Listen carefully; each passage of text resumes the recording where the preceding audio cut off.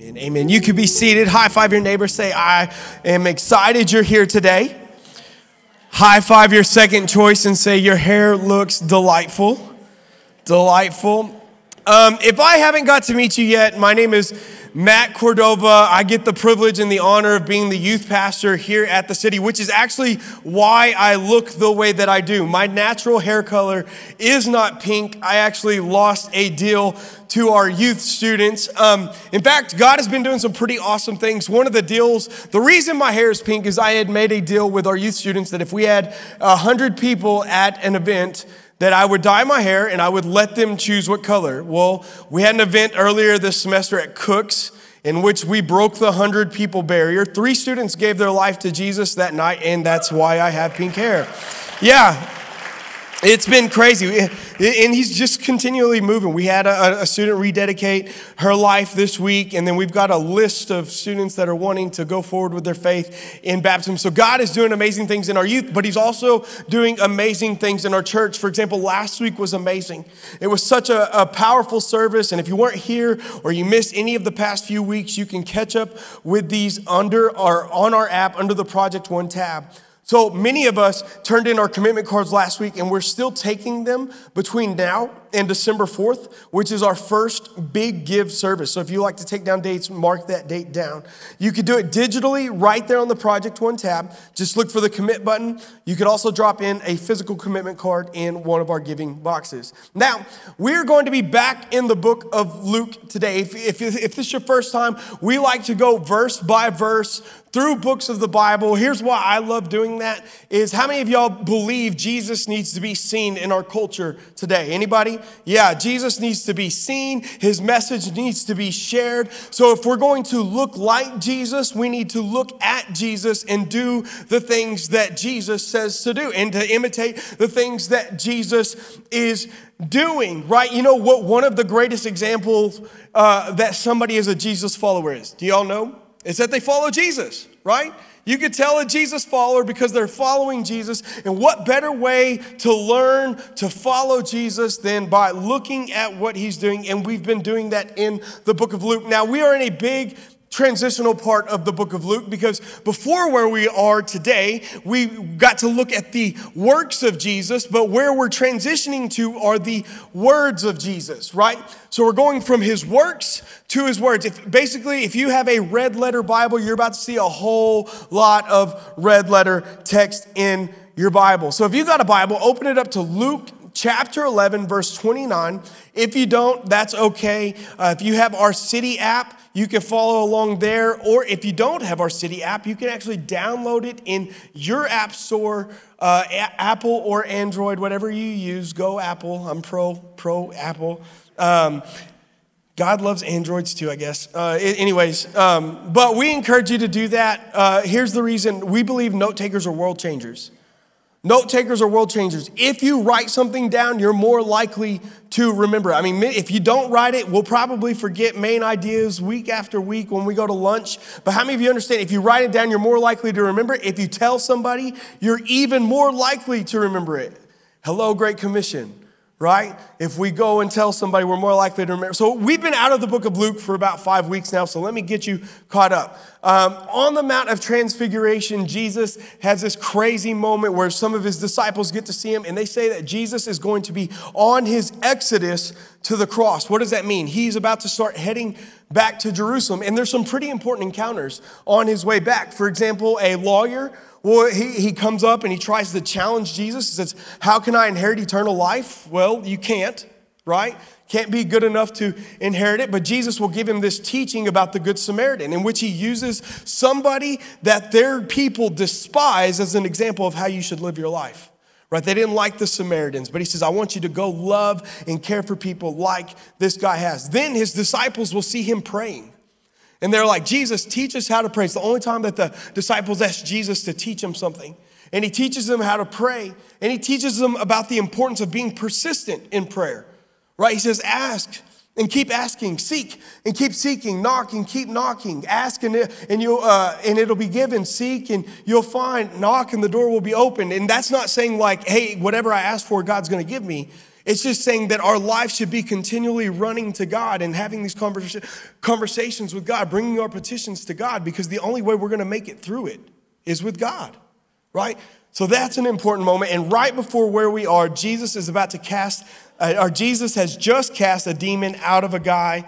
Um, and the crowd are like around him is like, well, he, he gets his power from Satan. So, you know, I'm like, that's dumb. Anyways, verse 16, they, they, they keep testing him, is what it says. They keep trying to get him to give him a sign. So uh, I'm going to ask you guys to stand up for the reading of God's word. I'm going to uh, invite my amazing wife to come lead us in that. Thank you. Hi, guys. My name is Alexis Cordova. As Matt says, I'm his amazing wife. He used awesome earlier, but it works. Um, we have two boys, Bradley James and Julius or Juju, who go to the children's church here, and we also help serve in the city youth. Let's read Luke chapter 11, verse 29. As the crowd pressed in on Jesus, he said, This evil generation keeps asking me to show them a miraculous sign. But the only sign I will give them is the sign of Jonah. What happened to him was a sign to the people of Nineveh that God has sent him. What happens to the, what happens to the Son of Man will be a sign to these people that he was sent by God. Queen Sheba will stand up against this generation on Judgment Day and condemn it, for she came from a distant land to hear the wisdom of Solomon. Now, someone greater than Solomon is here, but you refuse to listen. The people of Nineveh will also stand up against this generation on Judgment Day and condemn it.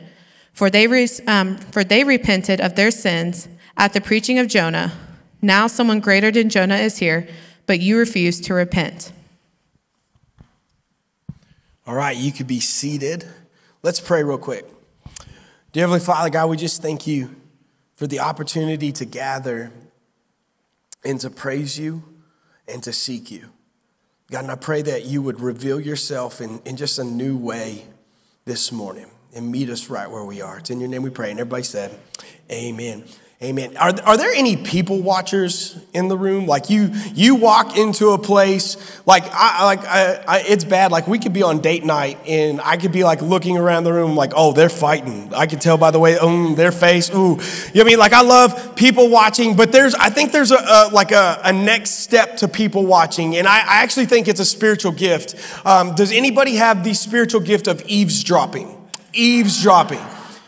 Yes. Yeah, like it's it's so hard for me to like work at coffee shops and stuff like that because I'll sit there and I like hear something interesting out the corner of my ear with my spiritual gift and everything. And yeah, and it just here's what I've learned. From people watching, from having conversations with people, from eavesdropping, people say some of the craziest things right? If you've spent any amount of conversations or, or any time on like just, just social media, right? You'll realize that people say some of the craziest things.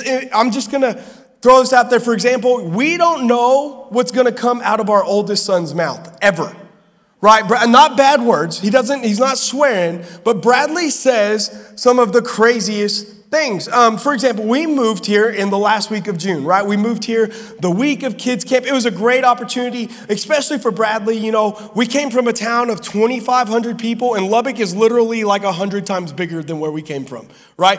it's so awesome. There's HEB and Walmart here. We love it, right? It's great. But we come here, there's kids camp, so we're like, oh, this will be good. Bradley will get to meet new kids.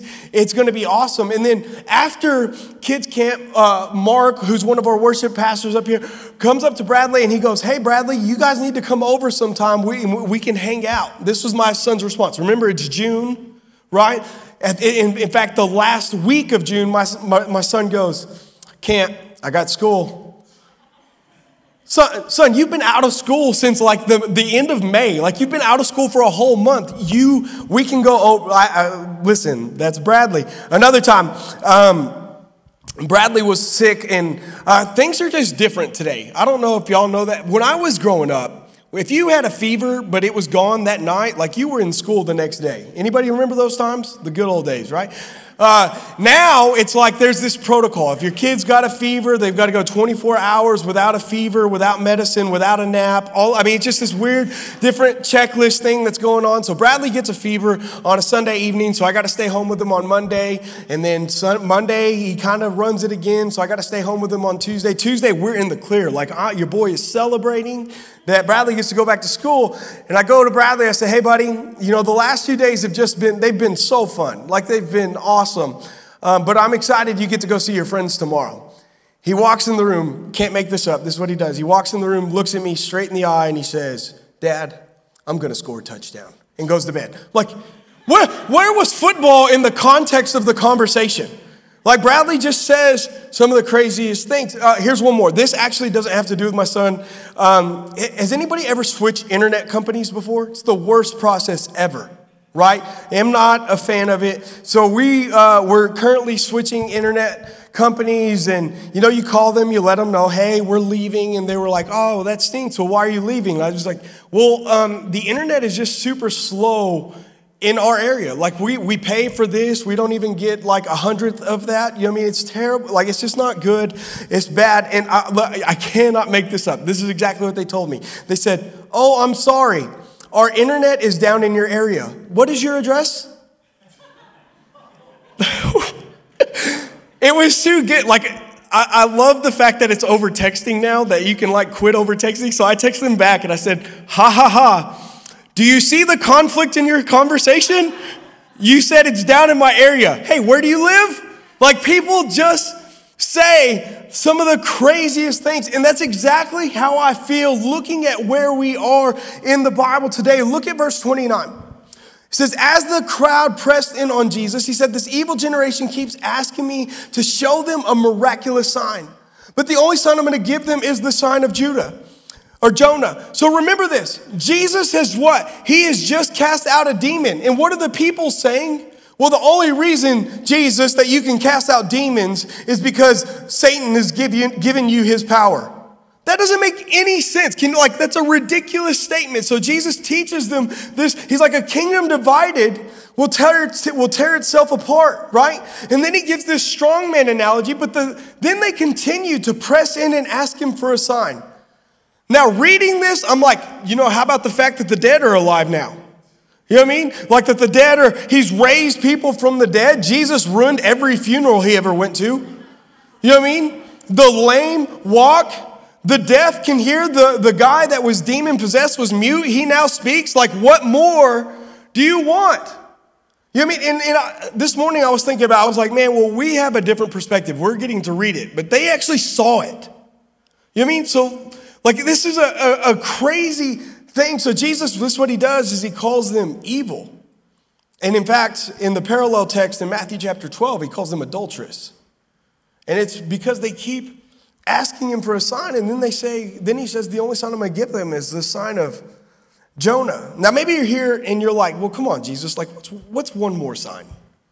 Like, I mean, you've walked on water, you've done, I mean, what is it to, to tell Bobby to wake up? Or, you know I mean, to do one more thing? And I would respond to that question with how many of you know that signs don't always equate to faith? I love what Charles Spurgeon says here. He says, There is no necessary connection between the seeing of wonders and the believing in God. That, that's a huge thing because many of us, that's what we pray for. We pray for signs, we pray for wonders, we pray for miracles, thinking that it's going to uplift or build our faith. The truth is, is there's signs, miracles, and wonders happening all around us that we just don't recognize. You I mean? He says, For we learn clearly from Pharaoh's case and from many others that all the displays of wonderful power, either of judgment or of mercy, do not beget faith in unbelieving hearts. That there's not, there's not a connection between signs and wonders and miracles. And I mean, think about it. Let's go to Pharaoh. Think about all the things that Pharaoh saw. You mean, let's go all the way back to the book of Exodus. The first thing that Moses does is he turns the Nile River into blood. That's an attack on their belief system, by the way.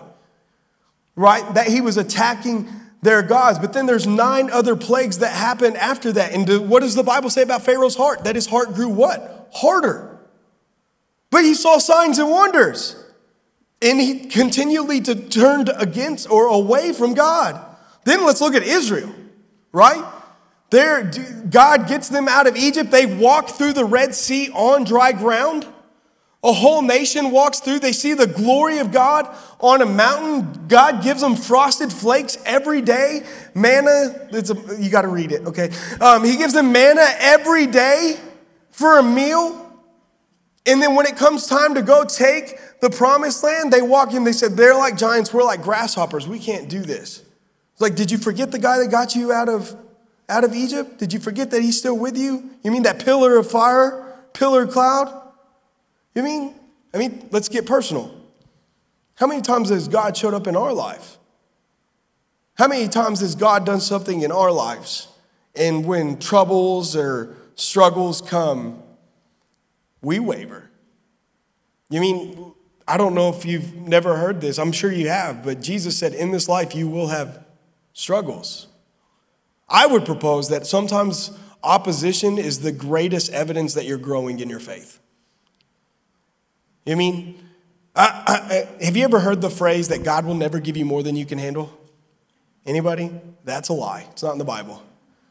Um, Paul says this in Second Corinthians. And, and, the reason I'm sharing this is my prayer is that we would have a faith like Paul. But in Second Corinthians, Paul is doing ministry and he says it, would, it would, was taking us to death. It was more than we could handle. Like, destroys the whole phrase. Way to go, Paul. He destroys the whole phrase, but he comes down to this statement and he says, God has moved, God will move, God will do it again. That's the prayer that I hope, the faith that I hope to have and that I hope that we have. Is God has moved reminds us to look backwards at the things that God has already done. How many of you know that when God has moved in your past, it's to give you faith to walk through the struggles of tomorrow? You know what I mean? How many times does he remind him, like, hey, in the Old Testament, do you remember the God who brought you out of Egypt? You mean? So Paul goes backwards. God has moved, God will move, God will do it again. He has, He will, He will do it again. So they keep asking for a sign. He says, I'm going to give you a sign. It'll be the sign of Jonah. And then verse 30, he says, What happened to him was a sign to the people of Nineveh that God had sent him. What happens to the Son of Man will be a sign to these people that he was sent by God. Now, if you're unfamiliar with the story of Jonah, I'm going to share it with you. But here's what I've learned just kind of in studying it is it's not like how I was taught. Right? If you read a children's book on the book of Jonah, this is how it appears. That God is angry and Jonah is the hero. Right? So I'll tell you how I was taught. God is angry at Nineveh. He sends Jonah, "Hey, go tell Nineveh." And Jonah runs away because he was uh, afraid of his calling. That's how I was taught. He runs away. He's afraid of his calling. They throw him off the boat. He gets eaten by a whale. He goes and preaches. God's angry. Jonah's the hero. That's not how the story actually really goes. See, Jonah actually wants Nineveh destroyed. Right? Nineveh, if you do studies on Nineveh, Nineveh was brutal. They were cruel. They were dangerous. Right? They were, they were just a, a, a brutal people. So God sends Jonah, and Jonah runs away. Why? Because he wants him gone. How do we know this? It's in Jonah chapter 4. He says, This is why I ran away. So this storm comes. Jonah's asleep in the bottom of the boat. Sailors, they're pagans. They don't believe in God. They're trying to figure out what's going on. Jonah wakes up. He's like, Listen, guys, it's my fault. I serve the God who created the, the, the sea and the land. And they're like, they're like, well, what do we do? Jonah's like, throw me over the boat. Why? Because if I, if I, if I die in the ocean, guess where I don't have to go? Nineveh. Ironically, the storm stops and the people that were, didn't believe in God believe in God. So God using a moment, like a crazy cool moment right there. But Jonah gets thrown off the boat. He gets swallowed by a fish, spends three days in the belly of a fish. The fish spits him out or, or vomits him is the language that the Bible uses. It's gross. He preaches, Nineveh repents, and Jonah's mad. That's the book of Jonah. That's the book of Jonah. Now, here's where it gets interesting. When you read the story of Jonah, Jonah never tells Nineveh about the fish. He doesn't walk in and say, Hey guys, let me tell you about this God that I serve, who's gracious, who's loving, that when I ran away from him, they threw me in the ocean, and because of his grace, because of his love, he sent this fish to swallow me, which is why I look and smell the way that I do. None of that happens. So the question is, how was he assigned to Nineveh? Well, I, I, read about this. There's a guy in the mid 1800s named James Bartley. James Bartley was a whaler, and I don't remember what happened in the story, but he ended up getting swallowed by a sperm whale. Right, mid 1800s, the whalers had ended up catching that whale, cut him open uh, to find him alive in the well. He'd been in the well for 36 hours. And this is how they described James, described James Bartley. They said he was bleach white and all of his hair was gone because the stomach acid had eaten it away. So, can you imagine a guy looking like that, who looked like he just stepped out of death, which he would actually say in his prayer God, you saved me from Sheol in chapter 2, who just looked like he stepped out of death, showing up to your city saying, Hey, you're going to be destroyed. Would you listen to this guy? You look like the death angel yourself. I'm following you. No, like, you know what I mean? Like, it's crazy. Jonah shows up, he repents. So, this is what's, what happens from there. He says, I'm going to give you the sign of Nineveh, uh, uh, of Nineveh, or sign of Jonah, how Jonah was to Nineveh. And then he's going to use two examples. Both of them are Gentiles, which means non Jewish. And this would be create some anger inside of our religious leaders. In verse 31, he says, The queen of Sheba will stand up against this generation on judgment day and condemn it. Can you imagine hearing, like, you don't like Gentiles, and, and Jesus is saying, Hey, a Gentile is actually going to judge you. They're going to condemn you, right? For she came from a distant land to hear the wisdom of Solomon. Now, someone greater than Solomon is here, but you refuse to, to listen. So, Jesus is referencing 1 Kings chapter 10. And this queen of Sheba, she hears about the, the wisdom of Solomon. So, what does she do? She goes to find out. Man, I, I had a, a coach, he was crazy at LCU. Um, but if, if, he, if a ball was hit towards you and you let it go by, he would ask you this question. He would say, um, Hey, could you have dove and caught that? And if you said, I don't know, he would shout at you, Find out! Find out. In fact, one time they were doing uh, outfield drills. Where they, if you've ever been on LCU's baseball field, it's cinder block wall, right? They were doing outfield drills and they were hitting it close to the wall to see if they could learn to read and judge a ball. Well, he wanted to show the outfielders how committed he was to his find out message that he ran into the cinder block wall to catch it. To, man, I wish we would be a find out generation. You want to know if the, the, the, the promises and the truths in the Bible are real? We'll find out. Like, live it, pursue it, seek it, let it develop in your heart and find out. The Queen of Sheba, she hears about the wisdom of Solomon, so she wasn't just content with hearing it. She went and found out. She heard about this wise guy, and, the, and I like how this one, it says from a distant land. Other translations say from the ends of the earth. She came from the ends of the earth to see if what she heard was real. She gets there, she challenges him with hard questions, and the Bible says that he handles them with ease. And then it says that she was amazed because she had found out that she hadn't even heard half of how wise he was. That he was even wiser than the stories. Man, I wonder if that would be true if we'd live out what the word says. Man, we read about the promises of God. We, we see the things like where God shows up for people and, and people worship and prisons break and all that. I mean, what would happen if we would find out? If we would live it? She goes and she finds out, verse 9, it says that she praises God. So let's look at everything in play. She's a Gentile who traveled from the ends of the earth to see if what she heard was true. Did she see signs, miracles, and wonders? No. But she still believed. So she left, she drove or carted, whatever they used back then, from the ends of the earth to get to Solomon and here Jesus has left heaven and came to them. He's performed signs, he's taught with wisdom, and they don't believe. He says this He says, She's going to rise up and judge you in the last days. Why? Because she believed on less, and they still don't believe despite everything that's going on. It's crazy. Uh, uh Amber brought this up. We were talking about this text this week, and she said uh, that the, the Queen of Sheba didn't see God but she knew who he was because of Solomon's wisdom. And here they've read about Solomon's wisdom, but they can't see God standing right in front of them. They've read the, they've read the text, but the, the one that they've been waiting for, the one that they've been praying for, was right there, right in front of them. And they couldn't see him.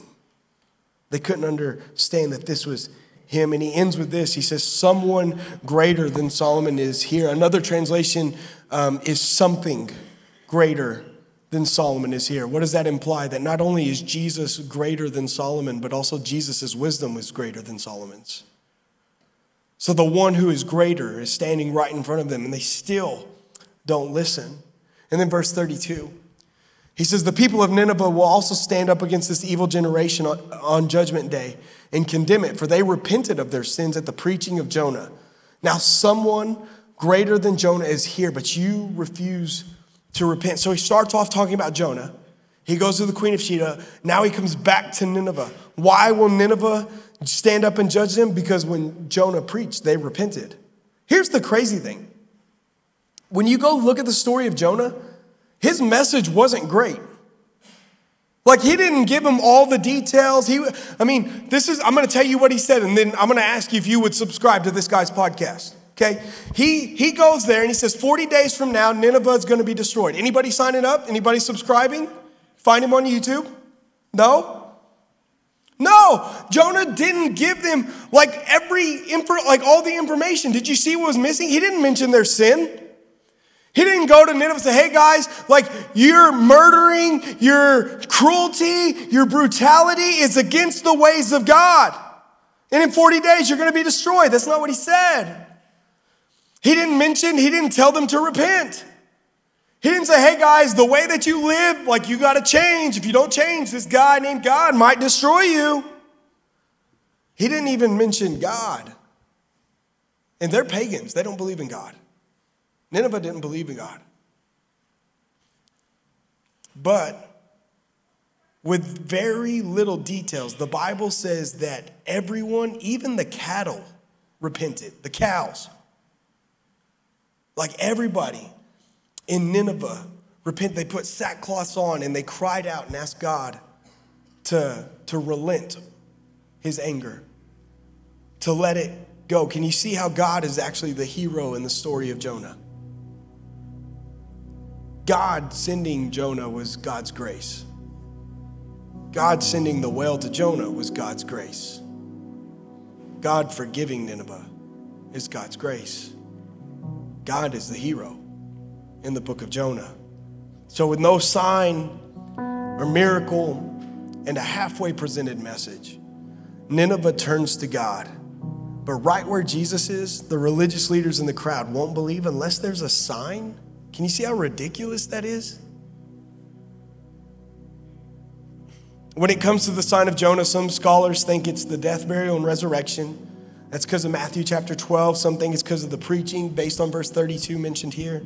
Some think it's both. What I want to do is I want to show you some parallels between Jonah and Jesus. Jonah has a message, right? He spends three days in the belly of a fish, he gets vomited up. And he goes and delivers that message, and Nineveh repents. Jesus has a message. He comes and he lives it. He shares it, he preaches it, he teaches it. And then he dies, bearing the sins of all humanity, spends three days in the belly of the earth, and is alive again. Resurrects, and he appears not just to his disciples, but like as our City 7 says, to James, to Paul, and to 500 others. And what does he do? Or what do they do? They receive his commission and they go out and preach the gospel, and people's lives are changed. You, you understand that we are here because of the sign of Jonah. And that people took his commission and came and preached the gospel. I mean, at one time, Peter preaches one message, 3,000 people say yes. 3,000 people turn to God. Now, here's what stands out to me. He says this someone greater than Jonah is here. And we talked about that translation for that word is something. Something greater than Jonah is here. Well, what does he mean? Well, where Jonah runs from Nineveh, Jesus runs to humanity. Jonah knew these people were brutal. he knew they were cruel. He knew they were murderers. He knew that they were sinners, and he wanted them gone. Right? So the Bible says that he ran. It took, oh, this is crazy. He went to Tar, he was running to Tarshish. Tarshish was further away than where he was called to go. what that, for some of us, we're running away from God right now, and it's costing you more energy to run away from God than to go to where He's calling you in the first place. I guess one of the most encouraging things about the story of Jonah is that even though he ran away, God's grace shows up and He gives him another chance. So maybe you're here and you've been running away from God, and I'm here to tell you that God loves you and He hasn't given up on you. You know what I mean? And he may have to send a whale to get your attention or a fish, whatever it is. But for when it comes to the story of Jonah, Jonah was out on these guys. He wanted them gone. But how many times have we seen Jesus dining with sinners? Surrounded by people that were the outcasts of society, even the people that he ran with. You mean rabbis weren't flocking to fishermen to, to recruit them to follow them? Matthew was a tax collector. Tax collectors were known for being rich by robbing their own people. He had a zealot. Thomas is known for doubting. I mean, these are the people in his crew, but Jesus knows who his audience is. And he knows that we can't get right with God based on what we do. So, what does he do? He comes in and he ushers in the kingdom of God. And while he's doing that, he loves the marginalized. He loves the broken. He dines with sinners and he heals people. Right? Think about this. God sending Jonah is evidence of God's love, just like God sending Jesus. So, where Jonah runs from, Jesus runs to. But this is probably the biggest thing is where Jonah wants Nineveh destroyed, Jesus wants humanity delivered. Jonah tells God, he said, This is why I ran away. This is in chapter four. He's, and then he quotes God to God. He says, Because you're kind and compassionate. And I knew that you would forgive them. God, this is, I didn't want to go there because you're kind, you're compassionate. I knew if they turned to you that you would forgive them. Right? And the Bible tells us that it's God's will that none should perish, which is why our vision as a church of reaching our city and reaching the world matters. Right? Why? Because it's God's will that none should perish, that we have a message to bring, a message to deliver. You know, and it's interesting to me because Jonah was willing to die so that Nineveh wouldn't hear the message, but Jesus was willing to die so that all might have an opportunity to be right with God, that all might have an opportunity to hear the message. See, the, the sign of Jonah is the foundation for everything that we believe. Right? Jesus came, he lived, and he died on behalf of all humanity. He was in the tomb for three days, but he is alive again, church. The tomb is empty, the grave is empty. He defeated sin and death. It's all about the resurrection. I mean, think about how many of our City 7 mention because Jesus rose from the grave. Because Jesus rose from the grave. Look at today's City 7. Are there sources outside of the Bible that confirm the biblical account of Jesus' resurrection from the dead? And the answer is yes. Many Roman and Jewish historians confirm that the apostles died as martyrs for preaching that they saw Jesus risen from the grave, preaching that they saw him alive again no one dies for something that they know to be a lie. Nobody gives their life for something that they know isn't true. You know, Bradley is, is when we talk to him about the City Seven, he's hooked on number five. He always goes to, to number five, and it's why do we follow Jesus? And it, he'll, he'll tell you, he said, because Jesus rose from the grave, proving that he's the way, the truth, and the life. The sign of Jonah is the greatest evidence, it is the greatest sign for our faith. Like it's the foundation of everything. They're wanting signs, miracles, and wonders. And he says, No, this is the sign that I'm going to give you is that I'm going to defeat the thing that holds you back. I'm going to defeat sin and death. And I'm going to be the payment for your sins. But I'll be back. And when he comes back, what does he do? He comes and he commissions the church to preach the message so that all might be right with God. So today, really, there's two opportunities. Maybe you're here and you've been asking questions, or you're watching online and you've just been wondering, you're like, man, is God really real? I would propose that the reason that you're here today, or the reason that you're watching, is the sign that you've been asking for. It's a sign that God has been calling and tugging and pulling and showing you that He's here. And this is what the Bible says that if you believe in your heart and you confess with your mouth that Jesus is Lord, you will be saved. This is what that means that, that your uh, account will be accredited as righteous. That because of your belief in Jesus, you will be seen as righteous in front of a holy God. And that you can know that you're going to spend eternity in heaven with Him. And if that's you, man, I encourage you, fill out our Connect form because we want to celebrate that with you. But listen, heaven goes crazy when people say yes to Jesus. And if heaven goes crazy because of salvations, the church should too. But maybe you're here and you've been following Jesus for some time. And maybe you're here and you've been following him, and maybe you've been asking for a sign. And here's what I would encourage you to do remember what he's already done. Remember how God got you through that struggle. Remember how He showed up when you thought that there was no way, when you thought everything was going to crumble, when you thought it was going to fall, when you thought you were going to fail. Remember those moments and thank Him. Paul would say this in First, Thessalonians. He says, Pray without ceasing, give thanks in all circumstances. This, this is God's will for your life. To be thankful for the moments and the things that God has done in your life. But I would also encourage you, if you've been following Jesus, to remember that you have a message to share too.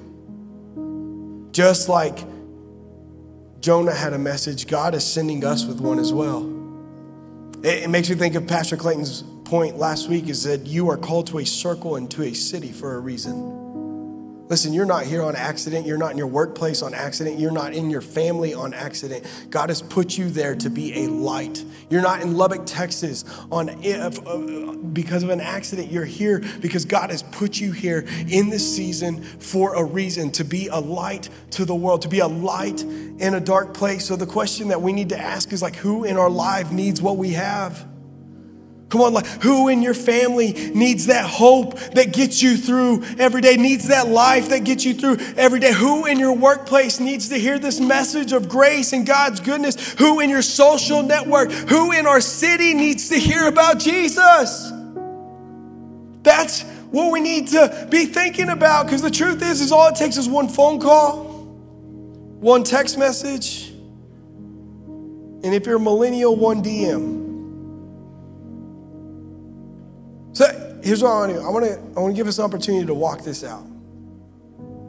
I want you to pull out your phones. If you got your phone, pull it out. And I want you to think of that one person that God's been putting on your heart. I'm going to give you a minute. If you don't have somebody, just ask God. And we're going to send them a text. Just tell them, hey, I'm praying for you. If you need a script, you can just say, hey, blank. I just want you to know you're on my mind. I'm praying for you. Let me give you a second to, to do that real quick.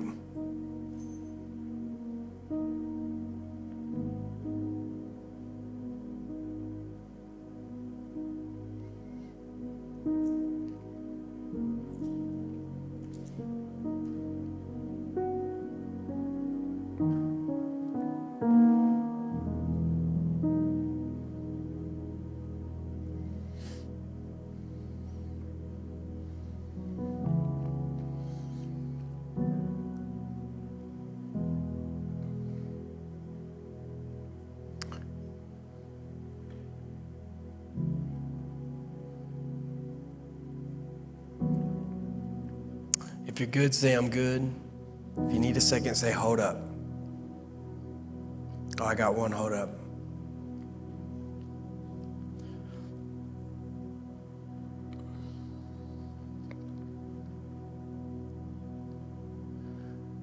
Church, we can either run away like Jonah or we can run to like Jesus. And I believe if we're going to make a difference in our communities, in our schools, and in our city, if we're going to be the light of the world that Jesus has called us to be, we need to have a heart like Jesus and run to people. So I'm going to pray. And maybe God put somebody else on your heart. If, if so, text them. It, didn't take, it took 60 seconds to send a message to let somebody know you're praying for them. So, dear Heavenly Father, God, we just thank you for this time. God, I thank you for your word and for your goodness. God, and I thank you for the sign of Jonah. That because you're alive, because you defeated sin and death, God, we know that we have eternal life with you. That death didn't hold you, sin couldn't keep you. God, I thank you for dying on behalf of humanity, for bearing the weight of all of our sins. God, give us the strength and the boldness to walk this out, to go be a light, to share your message. God, we love you. It's in your name we pray. And everybody said.